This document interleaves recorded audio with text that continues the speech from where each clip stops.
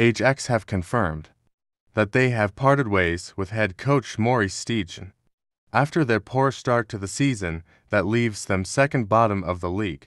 In a statement on Monday, the Dutch Giants confirmed that Steijn has agreed to step down with immediate effect. The club management and Steijn have agreed that the coach will step down from his position. Steijn was transferred from Sparta Rotterdam to Ajax this summer and signed a contract until June 30, 2026. Ajax chief executive Jan van Halst said, We have worked intensely and professionally together over the last few months. But the sportive successes and the development of the team were lacking. That's why we decided to sit down together again today.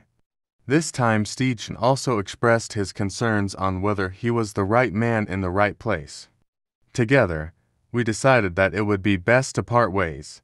Steijn confirmed the news by saying, This morning, I sat down with the board, and we continued our talks later this afternoon. We came to the conclusion that this is what is best for Ajax, although I regret that. Everyone who knows me knows I have done everything to take Ajax back to the place where this club belongs. But I failed to do so. I want to thank the supporters and the people I have worked with here. I hope Ajax will find its way up again soon. On Saturday, Ajax suffered their fourth defeat this season against Utrecht, leaving them second bottom of the league table. Once again, play was forced to be suspended due to disruptive fan behavior. The players looked to calm down the angry fans. After the 4 2 3 defeat, highlighting the toxic atmosphere at the club right now. After a run of eight games without a win in all competitions, the fans' reaction to Sunday's loss highlight. The atmosphere at the club is not improving. Club legend Rafael van der Vaart was quick to voice his major concerns. Van der Vaart insisted, You are no longer Ajax you have to assume that you are not better than your opponent, because they simply do not have the qualities for that. Even the good players are dragged along with this level, so there is little left. It sounds a bit lame, but they have to think like a relegation candidate at the moment. That's very sad, but it's true.